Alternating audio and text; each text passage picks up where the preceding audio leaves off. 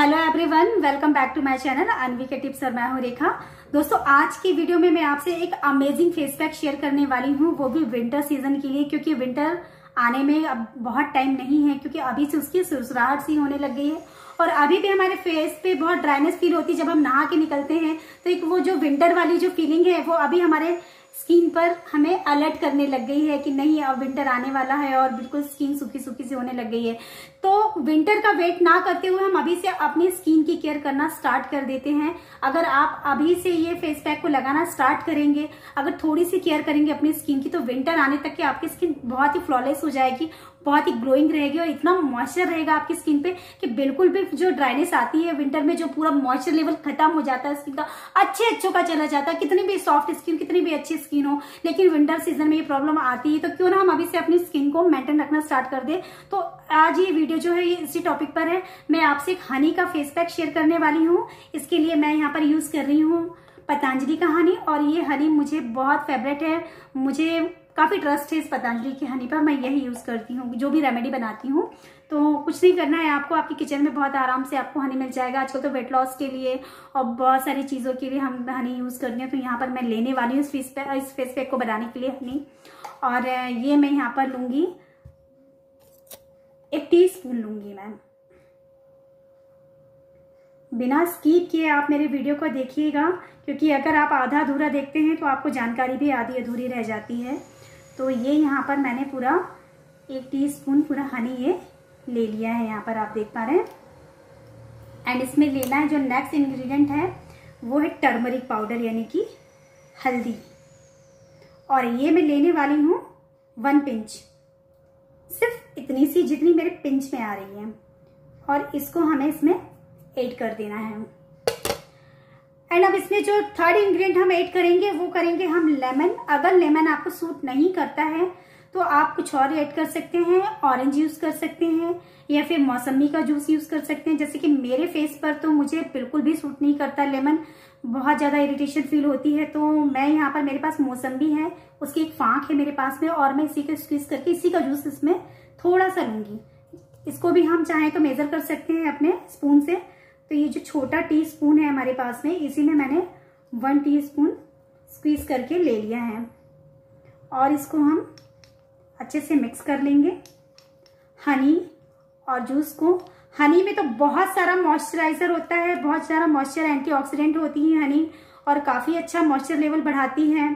और हमारा जो स्किन का पीएच है, वो भी इस मॉइस्चर से काफ़ी बैलेंस रहता है।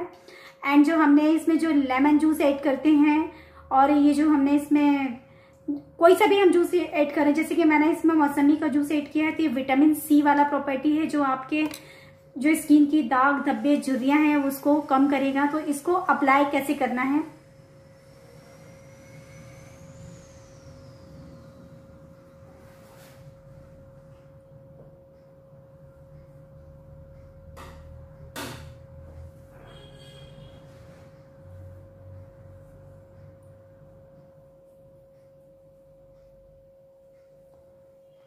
इसे आपको 15 मिनट अपने फेस पे रहने देना है। तो आपका जो मॉइस्चर है, इसका शहद का, वो बहुत अच्छा आपकी स्किन में एब्जॉर्ब हो जाएगा। और जो हमने जूस ऐड किया है इसमें, मौसम्बी का ऑरेंज का या लेमन का हम जो भी करते हैं, उससे हमारे जो भी डार्क स्पॉट है, जो भी झाइयाँ हैं पिंपल के दाग हैं, वो सब रिमूव होते हैं। तो इसे अप्लाई करने के बाद हमें सिर्फ़ दो मिनट की मसाज देनी है।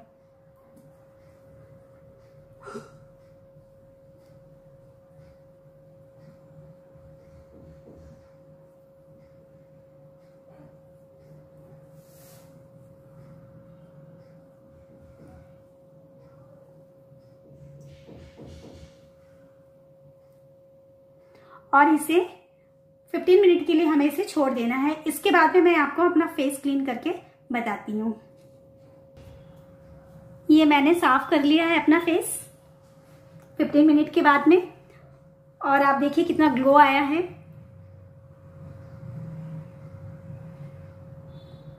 आप सोच रहे होंगे, ये लाइटिंग का कमाल है बट कोई कैमरा ट्रिक नहीं है, कोई लाइटिंग ऐसी नहीं है कि मेरा फेस ऐसा लगे। आप अपने आप देख सकते हैं कि स्किन कितनी ग्लो कर रही है।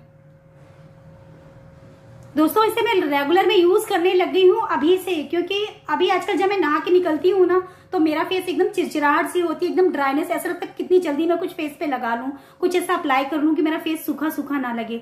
तो इसे मैंने अभी स्टार्ट कर दिया है। अब ये पूरे विंटर सीज़न में इसे अप्लाई करूँगी।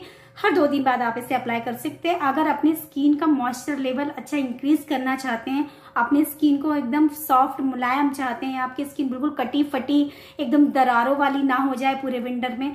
केयर करना चाहते हैं अच्छे से तो इस फेस पैक को आप ज़रूर अप्लाई करें और मेरे वीडियो को लाइक कर दीजिए, जल्दी से कमेंट कर दीजिए कि वीडियो कितना अच्छा लगा, क्योंकि दो मिनट में बिल्कुल चुटकियों में बनने वाला ये फेस पैक है और बहुत ही कम चीज़ों से मैंने आपको बताया है, जो घर में अवेलेबल है। और एक चीज़ मैं और आपको बताना चाहूँगी, इस फेस पैक के अंदर अगर आपको लेमन नहीं मिलता है लेमन सूट नहीं करता है, या फिर अदर कोई जूस अगर आप ऐड नहीं कर पा रहे हैं ऑरेंज लाइक आपको ये जो मैंने इसमें ऐड किया है मौसम भी अगर वो नहीं है आपके पास में डोंट वरी सिर्फ़ आप हनी और टर्मरिक पाउडर को ही अप्लाई अगर कर सकते हैं। और अगर नहीं, ये भी नहीं है अगर आपके पास में एलोवेरा जेल हनी में ऐड करके आप बिल्कुल लगा लीजिए। उससे भी आपको काफ़ी अच्छा मॉइस्चर लेवल मिलेगा। आपके दाग, धब्बे वगैरह सब रिमूव हो जाएँगे। तो जल्दी से मेरे चैनल को आप सब्सक्राइब कर दीजिए वीडियो को लाइक कर दीजिए और वेल आइकन का बटन दबाना ना भूलें। तो मिलते हैं अगली वीडियो में। Bye bye